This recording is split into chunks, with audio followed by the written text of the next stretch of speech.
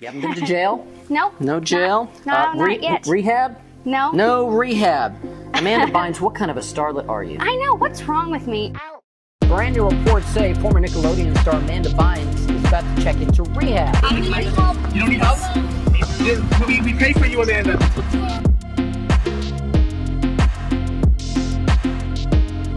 You look gorgeous. Hold on, hold on. Right here, right here. No, come towards me. No, come towards me.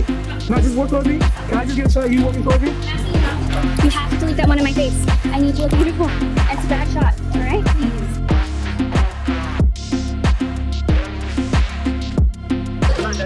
Do you, uh, do you think that, are you worried about your, uh, your mental health, Amanda?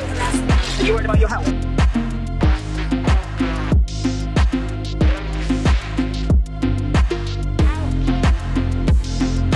Amanda, anything you want to say at all?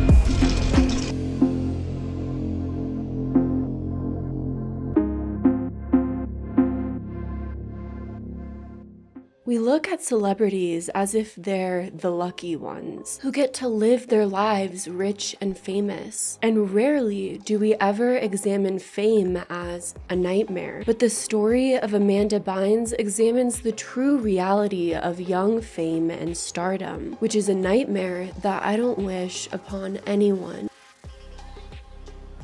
Can we give you a hug? Like, seriously, Amanda. The pressure to be perfect in front of the public eye. Former Nickelodeon star Amanda Bynes is about to check into rehab. We know that Amanda Bynes' doctors are very concerned right now. Amanda Bynes officially charged with her DUI. Amanda is certainly not in a good place. Amanda Bynes was arrested in West Hollywood. Amanda Bynes may be a schizophrenic. A life forced on you as a child without your consent. You started in, in the business when you were what, six, seven years old?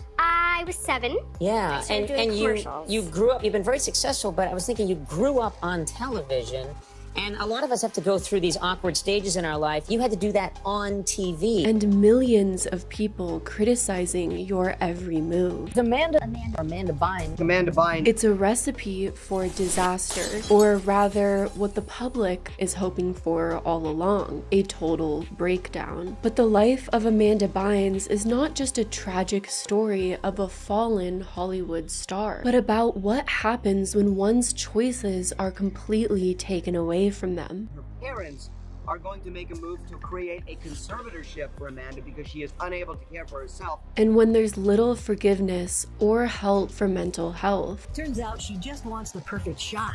You have to delete that one in my face. I need to look beautiful. And It's a bad shot. All right, please. Well, if Amanda doesn't think she looks good, she might be a little crazy. Oh, wait. You look gorgeous. Hold on, hold on. Right here, right here. No, come towards me. No, come towards me. No, just walk towards me. Can I just get a shot you walking towards me?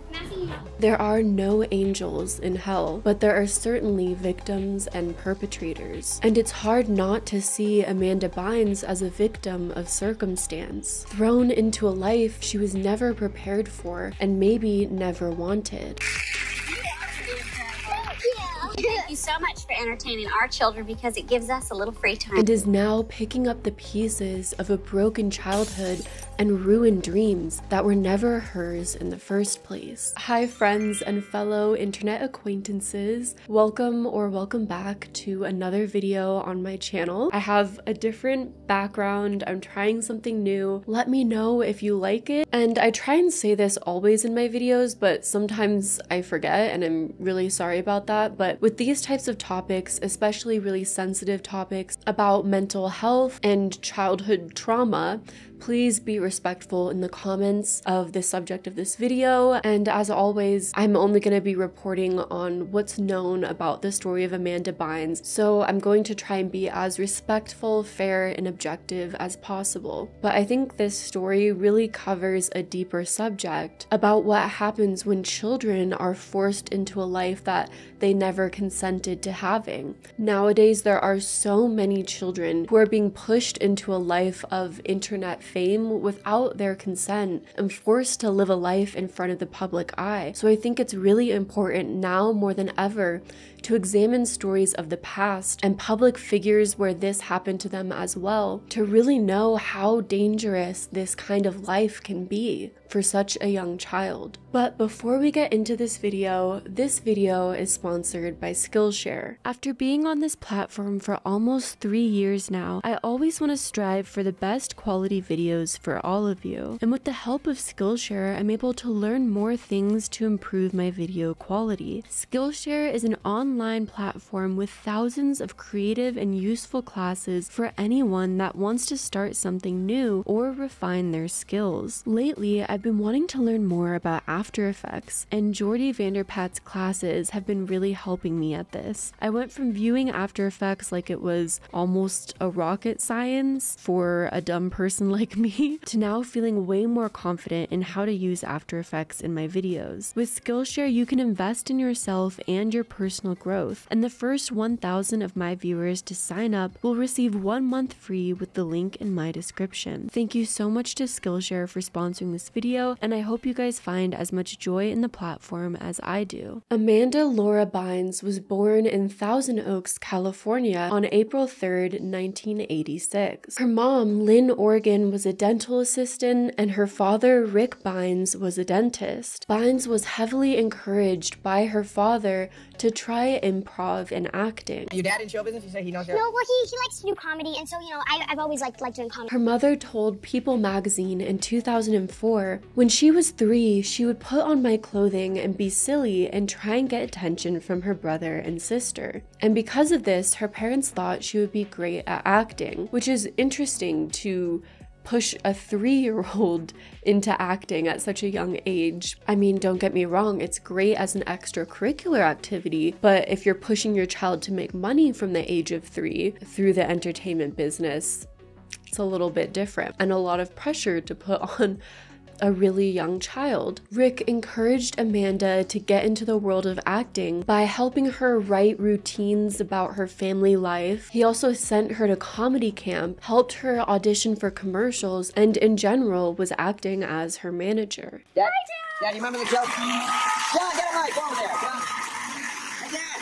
Which I mean is already a little bit of a red flag to me personally, when parents are so heavily involved in trying to make their kid become a star, that usually is not the most healthy relationship, in my opinion. But what can I say? Amanda got an agent by the age of seven, and that's really when her professional acting career took off, especially when she appeared in an ad for a Bunch of Crunch candies. What was your first gig at seven? What'd you do? Um, it was actually a commercial for Nestle's Bunch of Crunch candy. They're rockable and handy. For luncheon, they're just handy. When she was 10 years old, her dad signed her up for a comedy camp at the Los Angeles Laugh Factory. You started out the same way I did. I understand that you started out at like the Laugh Stand-up Factory. Like, com- Are you a stand-up comedian? Yeah, well, my well, my dad saw like a an article that you know kids could do a comedy camp at the Laugh Factory. 10 year old Amanda Bynes.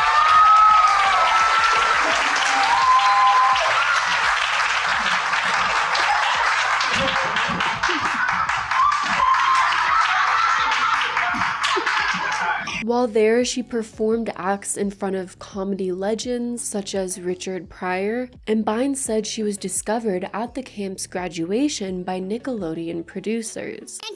And so it was really fun. And then there was like a graduation night, and that's where the producers of the show, like Brian Robbins and Dan Schneider, came on the show, and they saw me there. And that was it. You just got discovered right off of the comedy camp. Yeah. It was producers Brian Robbins and Dan Schneider who found Bynes at the comedy camp and brought her on to the show All That, which was a sketch comedy style show that was really popular from 1996 to 2000. You having a good time on all that? Yes, it's very fun because everybody's very nice and very funny. Amanda quickly became one of the most popular cast members on the show, with segments like Ask Ashley, Whatever, and Captain Tantrum. And throughout the show, Amanda was given more and more screen time. Kids are equals, And I have to say, though I don't necessarily think Amanda should have been on a huge popular TV show at such a young age, she is such a charming, adorable kid in these shows. You can tell she definitely has a natural talent and charisma about her. But because Amanda was so well liked and so popular on all that, she was given her very own TV show called The Amanda Show which was also a live action sketch comedy type of show, which really seemed to be something she excelled at. What do you have there? I don't see how people are What does it do? It, it, it, it, it propels to Pitbull 5000. Right here. And the show was a massive hit on its debut in 1992, boosting Bynes' fame and quickly becoming one of Nickelodeon's highest rated programs. Amanda Bynes played really popular characters on the show, like Penelope Taint, Hello, people. I'm Penelope Taint, Amanda's number one fan. Judge Trudy, and Crazy Courtney. And for all three seasons of The Amanda Show, Amanda Bynes won the Nickelodeon Kids' Choice Awards for Favorite TV Actress. Thank you so much. Um, first of all, I want to thank Dan Schneider for always believing in me, and I want to thank Brian Robbins, Mike Tollin, and Mike Goldman, and I want to thank my family. I want to thank my wonderful parents for always driving me and always supporting. With the massive success of the show and the increasing fan base, it seemed like the show could have gone on for years. But it abruptly ended in 2002. While Amanda seemed normal on the outside, handling her newfound fame fairly well. You never really know what's going on with someone until you're directly involved in their personal life. Chelsea Brummet, Bynes' co star, gave an inside look into Amanda's troubled childhood. Brummet worked with Amanda on the series All That and had some interesting stories to tell about what Amanda was like behind the scenes. The TV actress told Radar, I found her to be cold. I think maybe she felt like, who are these people? This is my legacy. Her persona felt like you'd shake her hand and she'd barely touch your fingers. She was closed off to everyone. You'd ask her a question and she'd give you a quick answer to end the conversation. Brummet also told Radar that she remembered hearing that Amanda's father, Rick, was extremely controlling. She was always defiant with her dad, but she tried to hide things from her dad. She always seemed like she was trying to hide things. They would butt heads. I don't know if this is just me, but Amanda Bynes' dad gives me major red flags. He tried to create this entire entertainment career for Amanda from an extremely young age. From their own statements, Amanda was only three years old when they tried to get her into the entertainment industry. She had no consent or control over the entire thing. And then when Amanda did create this career that her father had envisioned for her, he and other adults around her became hyper vigilant and watchful of her, not allowing her to make choices that they deemed unfit or as something that could negatively impact her career. And you have to wonder what that can do to a young and developing brain, unable to make your own decisions and unable to have virtually any control over your life. What's the cost of fame in your opinion? You guys, I think having to. Oh, it's people like having to be involved in your personal life.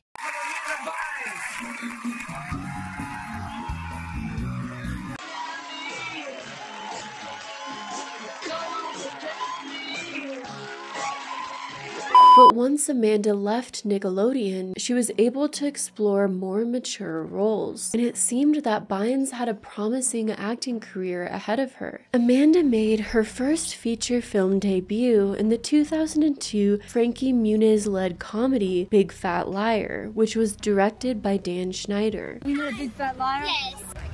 Big Fat Liar was fantastic. I want a sequel. Fresh off of that film's success, Bynes soon became a leading lady in romantic comedies. While Amanda's career trajectory continued upward, her family situation only worsened, which I can only imagine greatly impacted her personal life. In 2003, Amanda's agent, her manager, and her attorney were all fired by her parents. Again, major red flag here. Her parents basically cut out every other adult within Amanda's life besides themselves, and they completely controlled her career with now no outside voices, no outside input. Just very concerning, in my opinion. This mass firing came only a year after Amanda sought legal emancipation from her parents, who were absolutely furious when they discovered that the reps had kept this from them. And if you don't know what emancipation is, I mean, I'm not a lawyer, so I'm not to give you the best legally terms, but it's basically how a minor can legally become an adult, at least financially, and have more control over their lives.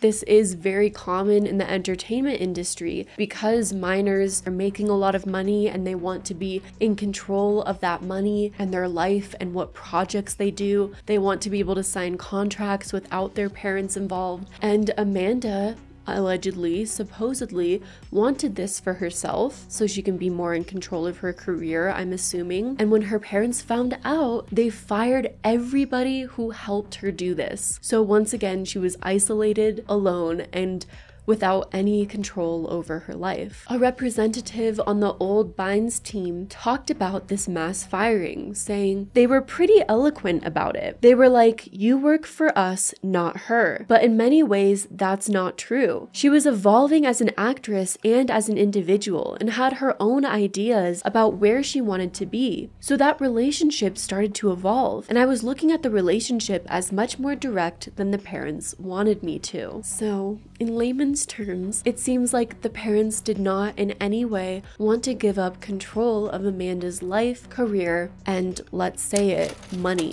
And around this time, Amanda Bynes reportedly leaned on producer Dan Schneider for support. Lisa Lillien, Dan Schneider's wife, said she was spending a lot of time with us, but she never left her family's house. But of course, a lot of people have also speculated on this very close relationship between Dan Schneider, adult producer, and Amanda Bynes, child actress at the time.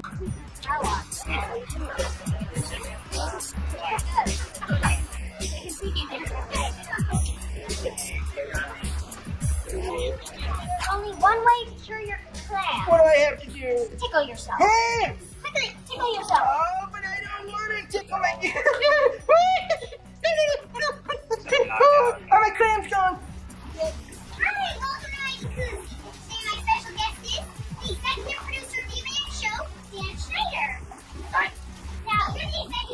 Executive the show. Uh, yeah, I am the executive producer and I'm the head writer. Actually, both the words are saying together right now. Uh, yes, I actually wrote this whole conversation that we're having right now. There are tons of photos and videos of them being very close together, seeming very comfortable with one another. There's the infamous video of them in a hot tub together. And in general, the relationship made the public feel very uncomfortable. And I'm sure this was just such a hard and confusing time for Amanda. Her parents seemed extremely controlling over her life, and then all the other adults within her close circle were fired and taken away from her. Dan Schneider, the producer who discovered her, was probably the only other adult that she was close with in her life. And I'm sure in a lot of ways that made her see him as a parental figure of sorts. But even if all the creepy allegations of Dan Schneider are false, even just the fact that Dan Schneider is a producer who has made a lot of money off of Amanda, already makes it so that her best interest is not his best interest. And that in some way, Dan Schneider still had an interest in exploiting her because that brought him money. So at this point in Amanda's life, it really seems like there wasn't an adult in her life who truly had her best interest at heart or who wasn't making money off of her in some way. But a source who knew the family closely stated that Rick was the prime source of Amanda's anger during that period. Her parents were very, very strict with Amanda. Her dad called all the shots and was very controlling. He's the bad guy. Yeah, he'll do that. Yeah, my mom's a good guy in the family. Well, the good girl, whatever. Were your folks strict when you were growing up? They actually were very strict. Yeah. Uh, in a good way, though. My parents never let me go to the mall alone or with friends.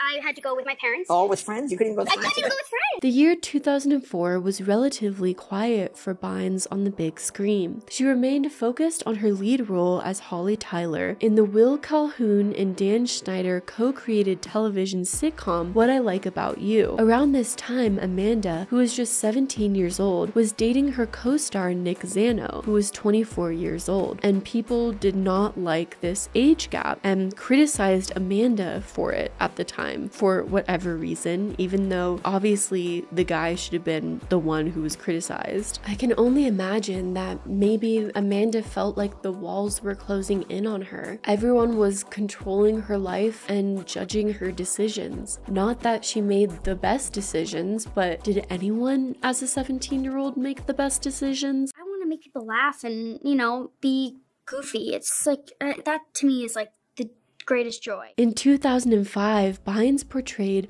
Piper Pinwheeler in the 20th century Fox film Robots. Being in a voiceover movie, it's so odd just because you don't have your body to rely on. DreamWorks Pictures released the 2006 romantic comedy film She's the Man, starring Bynes opposite newcomer Channing Tatum. And although the film received mixed reviews from critics, Bynes was praised for her performance. But during the 2018 interview with Paper Magazine, Bynes admitted that her role in the film eventually had a negative effect on her mental health. When the movie came out and I saw it, I went into a deep depression for four to six months because I didn't like how I looked when I was a boy, Bynes had said. I had no idea if I could do it or not, and even during it, I was like, what am I doing? But it was, you know, luckily it was, um, it was a learning experience and it was fun and funny, so.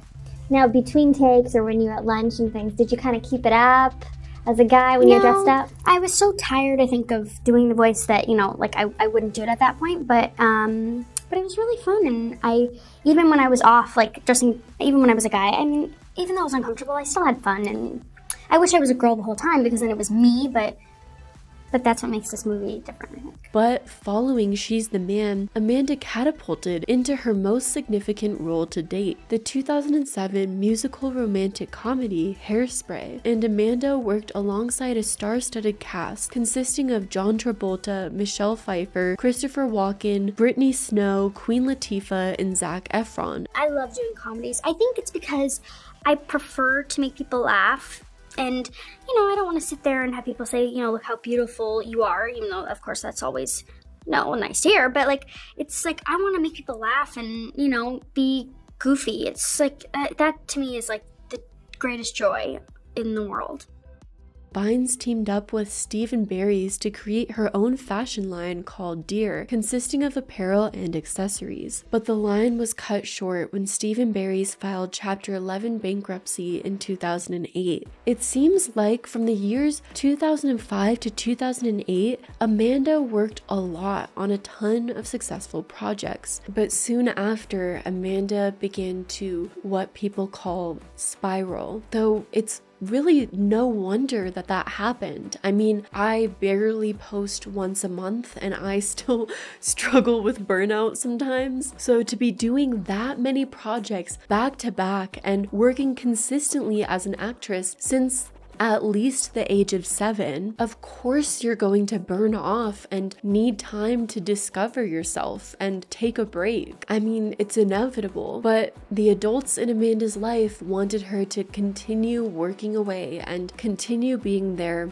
cash cow, milking all of her success and working her until she fell apart. In 2010, Amanda co starred alongside the then relatively unknown, but now well known Emma Stone that all rhymed, in the teen romantic comedy film Easy A. There's something really funny. Everybody's met that girl who is a type A personality and just wants to be right, wants to be better than everyone. So she's sort of a fun character to play. The film received positive reviews for Stone's and Bynes' performances and was also a major financial success. In the same year, Bynes started filming the comedy Hall Pass. Bynes was to play a babysitter with a lusty interest in one of the main dude characters, but she ended up getting replaced with Alexandria Daddario. Daddario? So sorry, I don't remember how to say your name. And there were stories from Insider that suggested that Amanda Bynes wasn't getting along with other cast members and wasn't remembering her lines. And eventually, Bynes spoke out about her time on set. During the 2018 Paper Magazine interview, she remembered literally tripping out when she first saw herself in scenes from Hall Pass. She thought her arm looked so fat because it was in the foreground or whatever. I remember rushing off set and thinking, oh my god, I look so bad, she shared. Amanda revisits her past in the interview talking about her drug use, where uh, she quit the film Hall Pass in 2010 because she was addicted to alcohol on set and she couldn't focus on memorizing her lines. She was also taking Molly and it seems like mentally Bynes was having a harder and harder time with the pressure of Hollywood stardom and the career that she found herself in. And mid 2010, everything came to a halt. Does the name Amanda Bynes ring a bell? Well, this past Friday it sure did, as the young Hollywood actress announced her retirement via Twitter. In June of 2010, Bynes surprised the world by announcing her retirement on Twitter, saying that she was quitting acting at the peak of her career career. She wrote from a now deleted account Being an actress isn't as fun as it may seem. If I don't love something anymore, I stop doing it. I don't love acting anymore, so I've stopped doing it. I know 24 is a young age to retire, but you heard it here first. Yeah, maybe she was only 24, but if you remember, she'd been doing this since she was like three or four. That's like 20 years in the industry, 20 years in a career by by the age of 24. I mean, that's longer than most people's careers in any industry. Kind of makes sense that she would have grown tired of acting. And following the Hall Pass debacle, as well as the Twitter tweet, Amanda Bynes' public fall from grace began. In 2012, Amanda Bynes got arrested for a DUI for the first time. Amanda Bynes officially charged with her DUI after she clipped a sheriff's deputy cruiser with her black BMW at around 3 a.m. Amanda Bynes was arrested in West Hollywood for a DUI after sideswiping a car. In 2012, she was also charged with two hit and runs. Amanda Bynes is in a bind. Again. The 26 year old actress has been charged with two counts of hit and run. Amanda, did you party too much? I like your pink hair. Amanda, Amanda, is that a wig?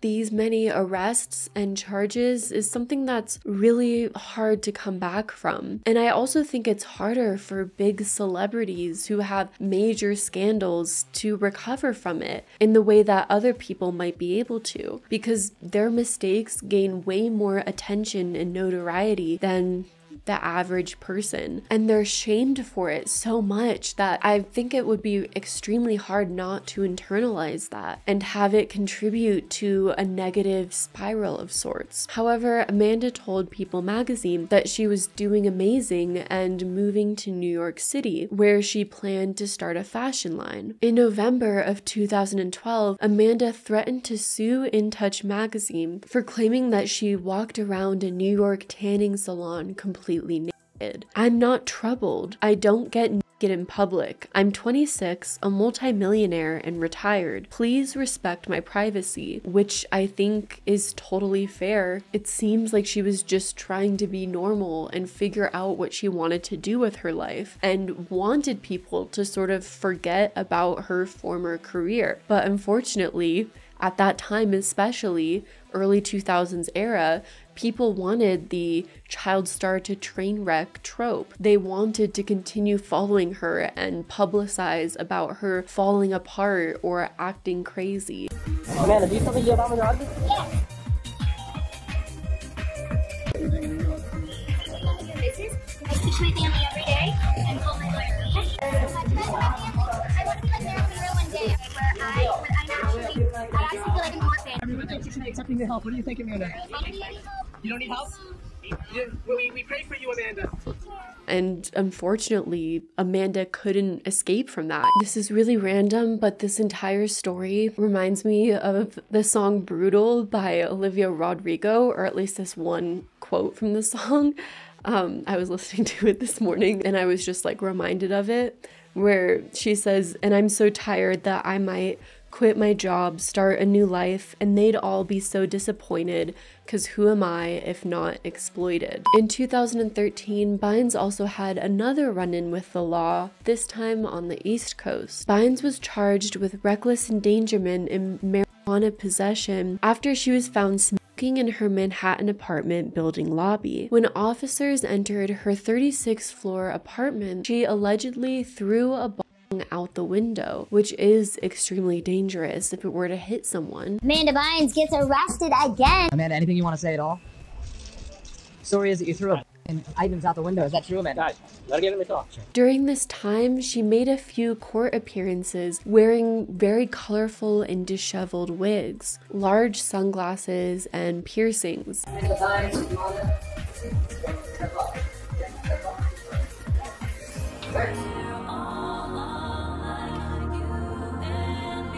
I mean, kinda slay. Sorry. But what's not slay, sorry, I'm laughing, is on May 26th, in a seemingly unprovoked attack, she tweeted to Rihanna, Chris Brown, you, because you're not pretty enough. No one wants to be your lover. I almost named my new dog Rihanna. And Rihanna soon responded, tweeting, You see what happens when they cancel intervention? Then, in July of 2013, Ventura County Sheriff's deputies detained Amanda after she allegedly started a small fire in a stranger's driveway in Thousand Oaks. She was hospitalized under a 72 hour mental evaluation hold. And Amanda Bynes' parents filed for conservatorship over Amanda shortly after her hospitalization. Okay, what's on fire? It's uh, it's like a small piece of cloth and uh, and a gasoline tank. We also know that her parents are going to make a move to create a conservatorship for Amanda because she is unable to care for herself, and frankly, she's a danger to others. If you don't know what a conservatorship is, it's basically when one person becomes a legal guardian for another person and can take control of their business, their finances, and their personal life. So the families are very powerless. So one of the interventions that we have to do and help families do is go to the court system to be able to prove that their loved one is so out of control, that is so disturbed, that the court then puts them in charge of their family. You know, just like they did with Britney Spears. So basically, Amanda became exactly where she was during her childhood. And I mean, I don't know Amanda's parents personally. I don't want to just label them as awful people. But I mean, from multiple reports, they intensely controlled Amanda's childhood and now took control over Amanda's entire life. Do you think that it was a good idea to put Amanda under a conservatorship? Or do you think there's better ways? Especially if you're in the mental health field, I'd love to know your thoughts.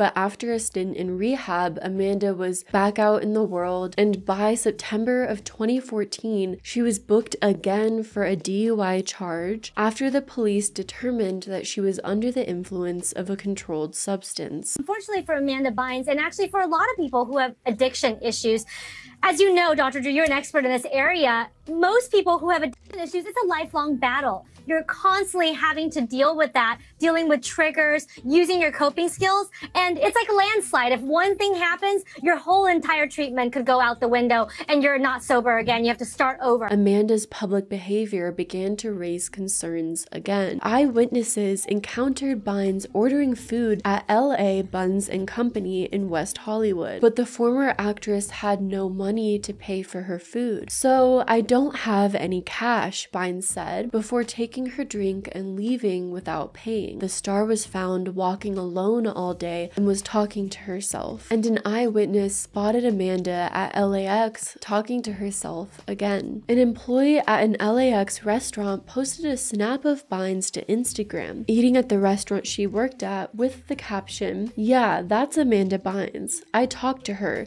She's effing crazy. I kind of feel bad for her. She later added, she started putting on tons of makeup and making weird faces and talking to herself. She's not well. The following day, Amanda, who had a bandage under her eye, was found walking along the Upper East Side. And people who saw Amanda said that she seemed very paranoid and was speaking to inanimate objects. Are you okay? Help. I have all the help I need to get Are you sure? Is your eye okay? It looks hurt. Bye, honey. All of this behavior was early October 2014, and later that month, Amanda Bynes posted on Twitter and accused her father of both emotionally and sexually abusing her. Her father, Rick Bynes, who has been accused of by Amanda of physically and verbally harming her. And the next day, Bynes took back her allegations, saying, My dad never did any of those things. The microchip in my brain made me say those things, but he's the one that ordered them to microchip me. Amanda, Amanda, do you regret what you said about your dad this morning? Amanda, do you regret the claims you made about your dad? Watch out, watch out. You gonna see your dad? Amanda, do you regret what you said about your dad? It's my dad. Really? So I'm really, really upset. Oh, Amanda, Amanda, have you apologised to your dad? Sure. Amanda, have you apologised to your dad? Amanda, have you got anything you want to say about the you made this morning? In my opinion, we don't allow enough space, privacy, and respect for those clearly dealing with severe mental health issues in the public eye. How are you doing? I'm doing great, thank you. Really great. Following her second consecutive conservatorship, Amanda remained out of the spotlight for a few years. And fast forward to 2018, Amanda received her associate's degree in merchandise product development and announced her intentions to start a bachelor's degree program, which is incredible because since childhood, Amanda has expressed an interest in fashion and art. In 1999, when she appeared on The Howie Mandel Show, Amanda brought drawings of her designs and even speculated on what she'd one day call her fashion line. Well, I want to be in like a fashion designer. I love to draw. I brought you a few pictures like Oh, you did? show. Yeah. Well, this is like a girl. I don't know if you want to like. Can you see this? Can David's camera see this? Oh wow! And over. And then I Wow. drew Oh. Sally Fields. That's Sally Field. Wow. So these And are. I have, like, a few more. Is this what you want to pursue? You want to actually design clothes? Yeah, well, I think so. That'd be cool. You know, like Amanda Laura Ware or something. That's my middle name. That would- yeah, that'd be pretty cool. That would be cool. yeah. That would be Amanda Laura. Ware. A B C A. You know, Donna Karan, New York. Amanda Bynes, California. Cool. Wow, I you don't really know. thought this out. yeah, I thought it. Now Pretty just- sad. no, it's not. Which is so sweet that that's now what she's finally pursuing as a career choice that she's been able to make herself. And after taking a break from social media, Amanda's mental health seemed to be on the mend. She enrolled at the Fashion Institute of Design and Merchandising, aka FIDM, I've been going to school lately, fashion ah. school, FIDM, and I love it. I've learned how to sew, I make patterns, and I want to start a clothing line in the future. So FIDM has been helping me with that. In 2018, Bynes graced the cover of Paper magazine. Bynes revealed that she had been sober for four years with the help of her parents. Regarding her Adderall addiction, Amanda revealed that her addiction began after reading an article in a magazine that called Adderall the new skinny pill. My advice to anyone who is struggling with substance abuse would be to be really careful because can really take a hold of your life. And despite her past, in the interview, Amanda remained optimistic about her future. I think that's kind of how I go about life now. Like, what's there to lose? I have no fear of the future. I've been through the worst and came out the other end and survived it. So I feel like it's only up from here. A source told us in December of 2018 that Amanda was feeling better than she had been for quite some time. But in early 2019, it was reported that Amanda had to seek treatment again after reliving her days in the public eye. This time around, she realized herself after the recent Paper Magazine beautiful interview and spread that she really wasn't feeling like herself all of a sudden and and that she wanted to address that. She wanted to address it right away before going back into show business and exploring show business again. And it was her decision and her choice to uh, address the situation, seek treatment. Then on September 10th of 2019, Amanda joined Instagram. Hey guys, I'm on Instagram now, she wrote while living in a sober facility. And then on February 14th of 2020, Amanda announced a surprise engagement. She posted an Instagram photo of her wedding ring with a caption, engaged to the love of my life. And a few hours later, she shared a photo of Paul Michael, her fiance, with her followers. It's believed that the couple, who met while attending Alcoholics Anonymous, had been dating for a few months when they became engaged. And the couple has had a lot of back and forth of breaking up and getting back together. There was even one time when they posted about Amanda being pregnant, but then her lawyer, David Esquibias, I'm so sorry if I pronounced that wrong, made a statement saying that Amanda was not pregnant. Many media outlets have just been informed that Amanda is in fact not pregnant and will not be expecting her first child.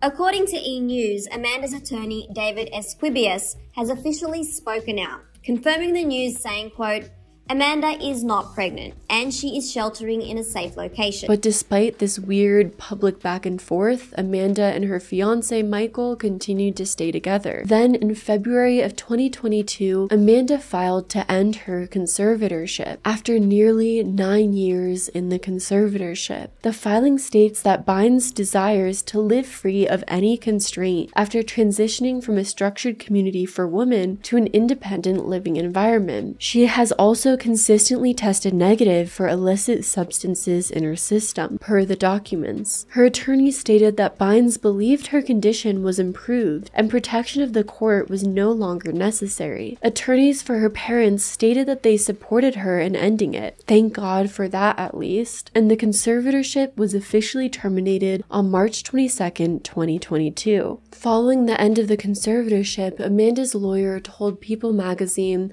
that she was just really excited to move in with her fiance and really happy that her parents supported her ending the conservatorship. I want to thank you all so much for your love and support. Peace out. On April 27th, Amanda and her fiance had an argument that was made public and resulted in the police being called to their home. Michael called the police around 2:30 a.m. and alleged that Bynes had taken some of his Adderall pills. Early the following morning, Bynes posted a video on her Instagram story where she claimed Paul told me that he stopped taking his medications.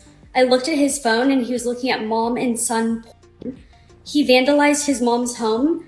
He broke all of her pictures and put salmon under her bed. His behavior is alarming and I'm afraid of what he'll do. I forgot to mention, I found Paul's stash of crack he's been using for the past six months. He needs serious help. I kicked him out of my house. But Michael took to his own Instagram account soon after saying he did not know what the F she was talking about. In wake of the incident, Amanda issued a public apology to her fiance. Correction. Paul looked up MILFs. Moms and sons just popped up. Also, I went to CVS, bought a test. Paul tested clean. Paul's clean. Also, I had something in my teeth in the last video. In early July of 2022, Page 6 reported that Bynes and Michael had broken off their engagement. The pair, however, remained in a relationship. And in the last report on September 3rd of 2022, the couple appeared to be still in a relationship, though not engaged anymore. For now, Amanda's future is still unclear. In 2020, Amanda suggested that she may be launching her long-awaited fashion line, and even discussed the possibility of a fragrance line. I want to start a clothing line in the future. So FIDM has been helping me with that. Other than that, I hike, I go spinning, take spinning classes. But it seems that, at least at this moment, there's no set release date for Amanda's brand. Though overall, she does seem to be in a better place mentally and physically. But at the end of this video, I do want to reiterate that we should never expect anyone to be perfect. Mental health, addiction, are extremely hard things to fight and to recover from, and we shouldn't expect perfection from Bynes or criticize her or others so heavily for their ups and downs. Life isn't always pretty and perfect, and we should stop expecting that from people in the public eye. Anyways, my camera ran out of batteries before I could film the final end of this video, so I can't do my usual outro in this video, but if you made it all the way to the end of the video, thank you so much. I really appreciate you wanting to watch that much of a video of mine. And if you made it all the way to the end, comment your favorite Olivia Rodrigo line or leave a shooting star emoji so I know you made it all the way to the end and can like your comment. Anyways, um, I hope that you're doing well, and I'll see you in the next video. Bye!